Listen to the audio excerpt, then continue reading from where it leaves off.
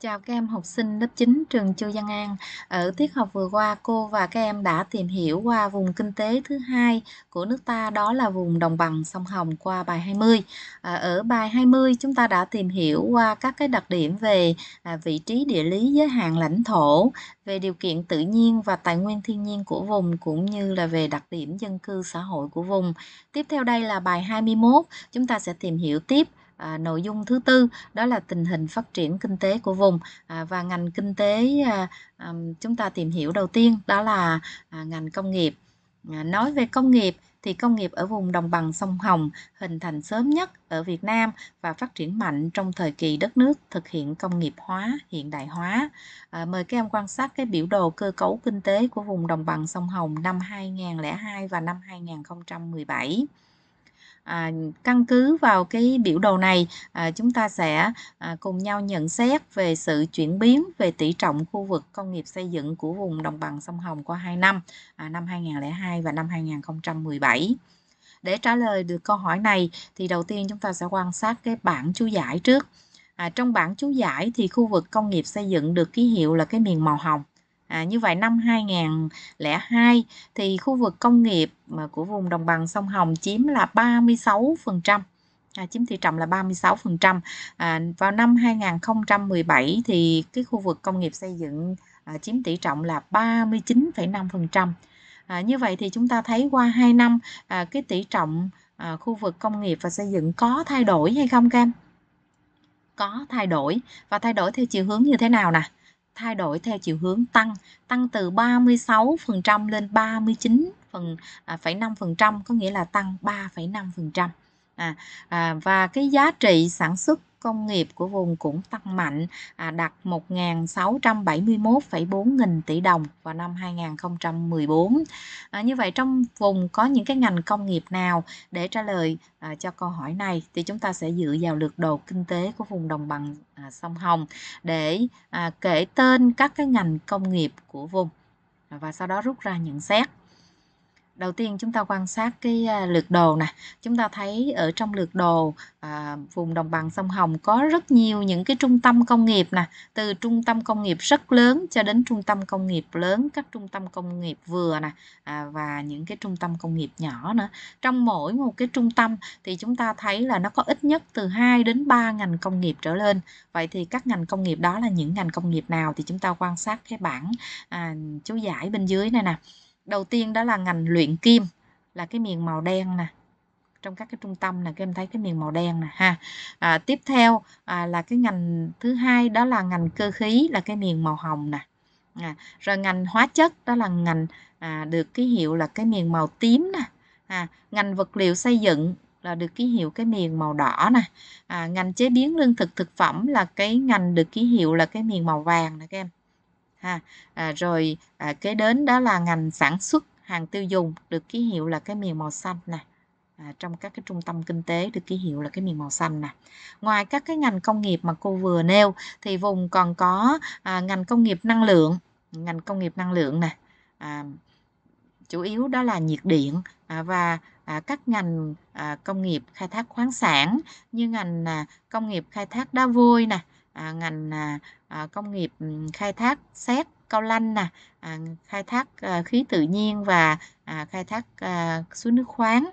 Như vậy thì chúng ta thấy qua cái lượt đồ này chúng ta có thể à, rút ra một cái nhận xét là à, vùng đồng bằng sông Hồng có cơ cấu công nghiệp rất là đa dạng, à, có rất là nhiều ngành và ở vùng cũng đã hình thành nên à, các cái à, ngành à, công nghiệp trọng điểm à, ngành công nghiệp trọng điểm thứ nhất đó là ngành chế biến lương thực thực phẩm.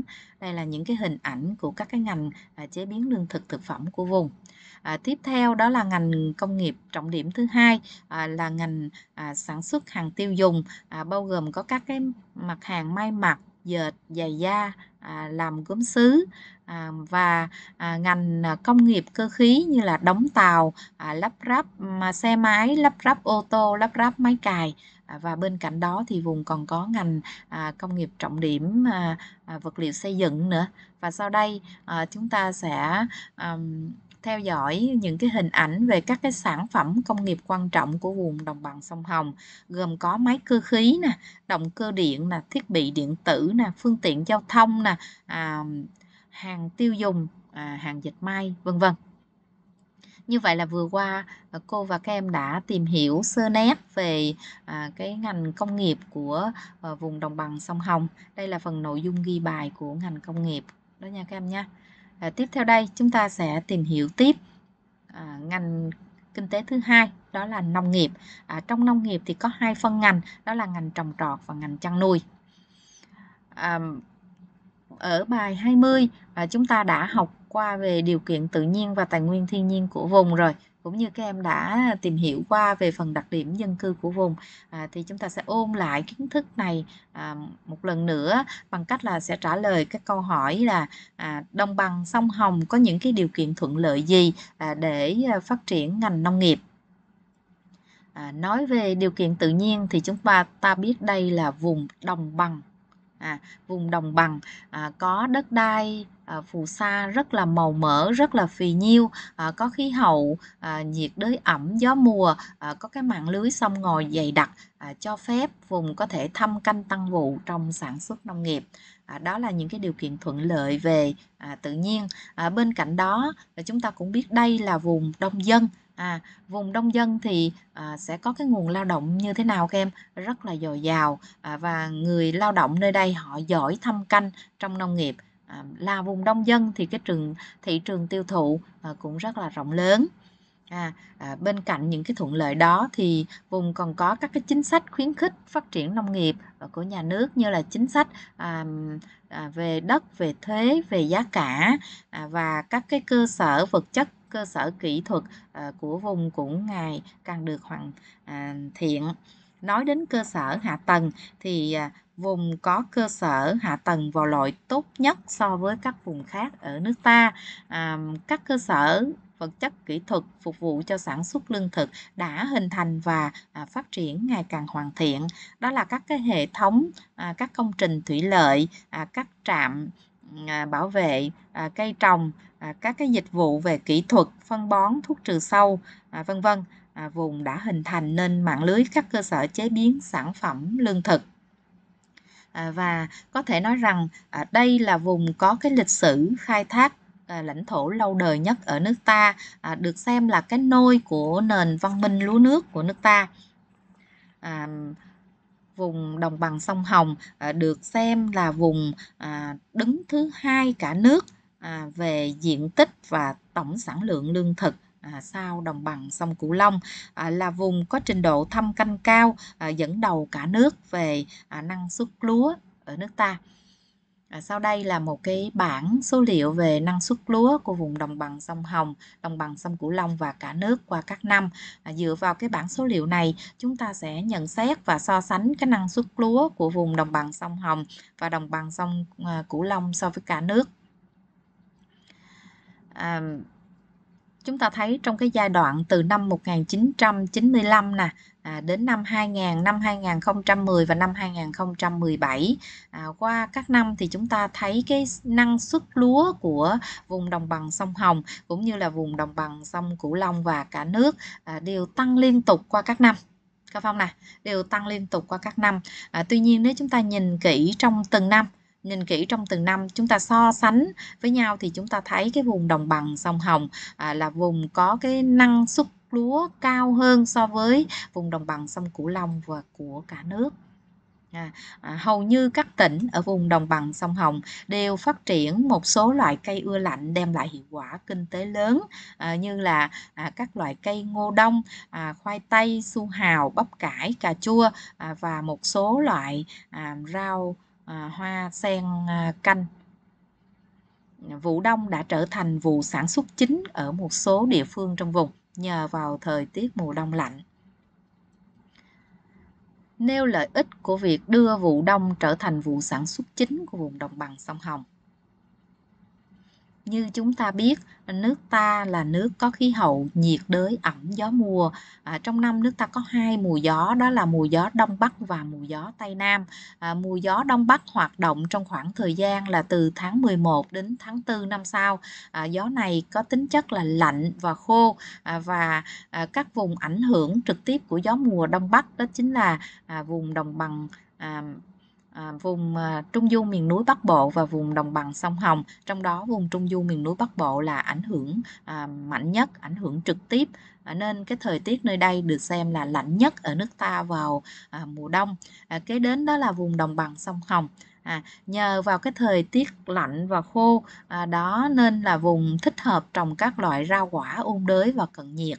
Ngoài ra, do lai tạo được giống ngô năng suất cao, chịu hạn, chịu rét tốt nên ngô cũng được à, trồng nhiều trong vụ đông. Vì vậy, cơ cấu cây trồng vụ đông đa dạng, đem lại lợi ích cao. Vụ đông đã trở thành vụ sản xuất chính của vùng đồng bằng sông Hồng. Và cô nhắc lại, nước ta là nước có khí hậu nhiệt đới gió mùa ẩm. Ngoài các loại à, cây của à, vùng nhiệt đới thì à, vùng đồng bằng sông Hồng còn trồng thêm được các loại cây ưa lạnh của vùng ôn đới và cận nhiệt. Nên là cây trồng nơi đây rất là đa dạng xét về cơ cấu cô nhắc lại là à, cơ cấu cây trồng nơi đây rất là đa dạng à, và à, việc à, phát triển à, vụ đông được xem là à, vụ sản xuất chính của một số địa phương nơi đây đã góp phần giải quyết việc làm à, nâng cao đời sống của người dân. Như vậy à, chúng ta đã vừa tìm hiểu xong à, về ngành trồng trọt. À, tiếp theo đây chúng ta sẽ tìm hiểu sơ nét về ngành chăn nuôi. Nói về ngành chăn nuôi thì ở à, à, vùng đồng bằng sông Hồng à, nuôi rất, rất nhiều những cái vật nuôi à, nhưng mà vật nuôi phổ biến nhất nơi đây đó là à, chăn nuôi lợn. À, à, À, đàn lợn ở đồng bằng sông Hồng chiếm cái tỷ trọng à, lớn nhất cả nước chiếm 27,2% vào năm 2002. À, bên cạnh đó vùng còn chăn nuôi bò, đặc biệt là bò sữa à, đang phát triển. À, bên cạnh đó thì vùng còn à, chăn nuôi gia cầm à, và cái ngành à, nuôi trồng thủy sản cũng được phát triển mạnh. À, như vậy là vừa qua chúng ta đã tìm hiểu à, một số những cái đặc điểm về à, tình hình phát triển nông nghiệp à, của vùng đồng bằng sông Hồng. À, đây là phần nội dung ghi bài của à, ngành kinh tế thứ hai. À, đó là ngành nông nghiệp của vùng. À, tiếp theo chúng ta sẽ tìm hiểu tiếp ngành kinh tế thứ ba đó là ngành dịch vụ. À, trong 7 vùng kinh tế à, thì à, vùng đồng bằng sông Hồng và vùng Đông Nam Bộ à, được xem là à, hai trung tâm à, thương mại du lịch lớn ở nước ta. Vậy thì ở vùng đồng bằng sông Hồng à, có cái đặc điểm nổi bật nào về các loại hình dịch vụ? Như chúng ta biết, nói về dịch vụ thì dịch vụ À, có à, cơ cấu rất là đa dạng gồm rất là nhiều ngành à, trong đó cái ngành nổi trội nhất ở vùng đồng bằng sông Hồng đó là hoạt động giao thông vận tải à, nhờ kinh tế phát triển mạnh à, mà hoạt động vận tải trở nên sôi động à, thủ đô Hà Nội à, và thành phố Hải Phòng được xem là hai đầu mối giao thông quan trọng ở nước ta à, à, hãy nêu ý nghĩa kinh tế xã hội của cảng à, cảng Hải Phòng và sân bay à, quốc tế Nội Bài. À, nhưng chúng ta biết là giao thông vận tải à, có ý nghĩa à, rất đặc biệt đối với mọi ngành kinh tế. Nó mang lại hiệu quả kinh tế cao đối với các hoạt động của nền kinh tế thị trường à, đồng thời giao thông vận tải thực hiện mối à, liên hệ kinh tế à, giữa các vùng à, trong nước à, giữa nước ta với nước ngoài. À, sau đây là một số những cái hình ảnh về cảng hàng không Nội Bài của Hà Nội và cảng à, Hải Phòng. À, đây là hai cái à, à, đầu mối giao thông quan trọng à, ở vùng đồng bằng sông Hồng các em nhé. Tiếp theo đây chúng ta sẽ tìm hiểu tiếp một cái loại hình dịch vụ thứ hai à, cũng được xem là phát triển mạnh trong vùng à, đó là ngành du lịch. À, à, như vậy dựa vào bản đồ cũng như là kiến thức thực tế mà các em biết, hãy cho biết đồng bằng sông Hồng có những cái điều kiện thuận lợi gì à, để phát triển ngành du lịch. Đây là vùng đồng bằng sông Hồng nè các em. À, đầu tiên chúng ta cần phải xác định đây là vùng có tài nguyên du lịch rất là phong phú. À, à, khi nói đến tài nguyên du lịch thì chúng ta không thể à, không kể đến các cái nguồn tài nguyên du lịch tự nhiên và các nguồn tài nguyên du lịch nhân văn. Như vậy trong vùng có những cái nguồn tài nguyên du lịch à, tự nhiên nào? À, à đó là à, các cái thắng cảnh như là Hoa Lư, Tam Cốc, Bích Động ở Ninh Bình, Tam Đảo ở Vĩnh Phúc, Hồ Tây hay còn gọi là Hồ Hoàng Kiếm ở Hà Nội, à, các khu vườn quốc gia Cát Bà ở Hải Phòng, à, Cúc Phương ở Ninh Bình, Ba Vì à, ở Hà Tây, à, Xuân Thủy ở Nam Định à, và một số những cái bãi tắm như là bãi tắm Cát Bà, bãi tắm Đồ Sơn ở Hải Phòng. À, bên cạnh đó thì vùng có à, rất nhiều những cái nguồn tài nguyên du lịch à, à, nhân văn ừ, đó là à, các di tích văn hóa lịch sử như là lăng hồ chủ tịch à, văn miếu cổ loa chùa một cột hà ở hà nội à, côn sơn kiếp bạc ở hải dương à, hoa lư ở ninh bình à, chùa tây phương ở hà nội chùa dâu ở bắc ninh ở cầu Long Biên ở Hà Nội vân vân.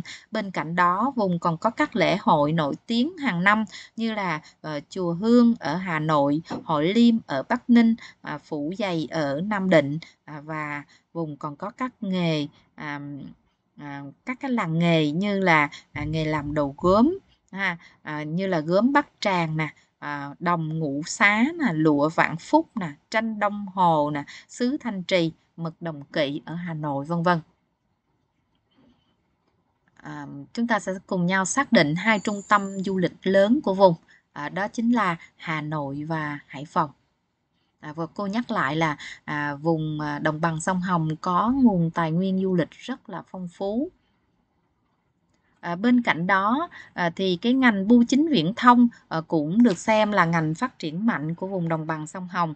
À, Hà Nội được xem là trung tâm thông tin tư vấn chuyển giao công nghệ đồng thời à, là một trong hai trung tâm tài chính ngân hàng lớn ở nước ta. À, sau đây chúng ta sẽ xem một số những cái hình ảnh về các đảo các Bà, à, Đồ Sơn ở bãi tắm Đồ Sơn ở Hải Phòng, à, động Tâm Cốc, Hồ Tây, chùa Hương, à, Văn Miếu, Quốc Tự Giám ở vùng đồng bằng sông Hồng. Như vậy là vừa qua chúng ta đã tìm hiểu à, qua về cái à, à ngành à, kinh tế thứ ba của vùng đó là ngành dịch vụ. À, đây là phần ghi bài của các em nè. Tiếp theo đây chúng ta sẽ tìm hiểu tiếp à, cái nội dung à, thứ năm à, đó là các trung tâm kinh tế. À, hãy xác định các trung tâm công tế à, các trung tâm kinh tế lớn trong vùng và cho biết các ngành kinh à, tế thuộc các cái trung tâm đó.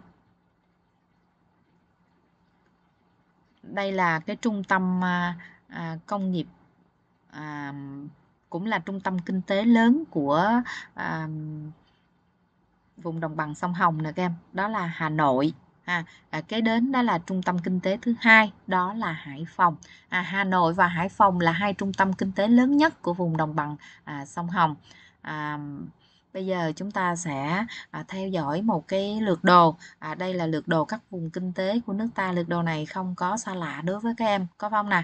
Thế nhưng mà à, ở cái vùng à, ở cái lượt đồ này chúng ta sẽ à, xác định các cái vùng kinh tế trọng điểm của nước ta. À, nước ta có 3 vùng kinh tế trọng điểm, đó là vùng kinh tế trọng điểm phía Bắc, à, vùng kinh tế trọng điểm à, miền Trung và vùng kinh tế trọng điểm phía Nam. À, đầu tiên là vùng kinh tế trọng điểm phía Bắc nè, à, bao gồm à, có Quảng Ninh à, thuộc à,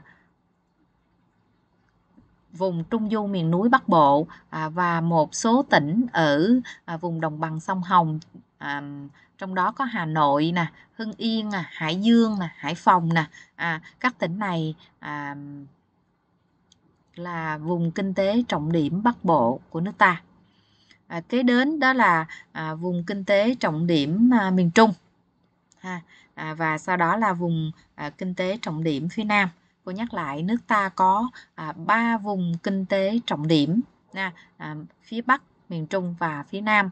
À, riêng ở à, vùng kinh tế trọng điểm à, à, Bắc Bộ thì như khi nãy cô nói á, à, là à, bao gồm các tỉnh thành như sau. Đầu tiên là Hà Nội nè Hưng Yên nè Hải Dương Hải Phòng và Quảng Ninh. À, như vậy à, hãy nêu ý nghĩa của vùng kinh tế trọng điểm Bắc Bộ vùng kinh tế trọng điểm Bắc Bộ à, thúc đẩy sự chuyển dịch cơ cấu kinh tế ở cả hai vùng đó là đồng bằng à, sông Hồng và Trung Du miền núi Bắc Bộ. Và trong vùng à, có à, các cái thành phố à, lớn như là à, Hà Nội, Hải Phòng và Hạ Long. Hạ Long thuộc Quảng Ninh các em nhé à, đã tạo thành nên cái tam giác kinh tế mạnh cho vùng kinh tế trọng điểm Bắc Bộ à, vùng kinh tế trọng điểm Bắc Bộ tạo cơ hội cho sự chuyển dịch cơ cấu kinh tế theo hướng công nghiệp hóa hiện đại hóa à, sử dụng hợp lý cái nguồn tài nguyên thiên nhiên nguồn lao động của cả hai vùng đồng bằng sông Hồng và Trung Du miền núi Bắc Bộ. Như vậy vừa qua chúng ta đã à, tìm hiểu à, qua các cái nội dung à, về à, vị trí địa lý à, điều kiện tự nhiên tài nguyên thiên nhiên của vùng đặc điểm dân cư à, các cái à, à, tình hình phát triển kinh tế của vùng và các trung tâm kinh tế của vùng À, như vậy à, chúng ta đã tìm hiểu qua về cái vùng à, kinh tế trọng điểm thứ hai của nước ta. À, tiếp theo đây chúng ta sẽ à, thực hiện một số những cái bài tập nhỏ để chúng ta củng cố lại à, những kiến thức mà chúng ta à, mới vừa học qua. À, chúng ta sẽ có một số câu hỏi trắc nghiệm trong các câu hỏi trắc nghiệm thì chúng ta sẽ có à, bốn đáp án chúng ta sẽ lựa chọn à, cái đáp án đúng nhất à, câu hỏi thứ nhất nhân tố nào à, là chủ yếu tạo nên năng suất lúa của đồng bằng sông Hồng cao hơn các vùng khác A đất có độ phì cao B. Điều kiện thời tiết khí hậu thuận lợi C. Đảm bảo tốt về thủy lợi D. Trình độ thâm canh cao trong mà bốn đáp án A, B, C, D chúng ta sẽ chọn đáp án nào là đáp án đúng nhất các em? Đó chính là đáp án D trình độ thâm canh cao. Câu hỏi thứ ba à, đồng bằng sông Hồng có thế mạnh về nguyên liệu để phát triển ngành công nghiệp nào dưới đây? A công nghiệp năng lượng B công nghiệp luyện kim C công nghiệp vật liệu xây dựng và D là công nghiệp hóa chất. Đó chính là ngành công nghiệp nào các em? Đó là ngành công nghiệp vật liệu xây dựng chúng ta chọn đáp án C là đáp án đúng nhất và câu hỏi thứ ba tam giác kinh tế Bắc Bộ à, của vùng đồng bằng sông Hồng là A. Hà Nội, Hải Phòng, Hạ Long B. Hải Dương, Hà Tây, Hải Phòng C. Hà Nội, Hải Phòng, Hưng Yên và D. Hà Nam, Hạ Long và Thái Bình chúng ta sẽ chọn đáp án nào à, đúng nhất trong bốn đáp án các em A, B, C hay D? Chúng ta sẽ chọn đáp án A, đó là Hà Nội, Hải Phòng và Hạ Long.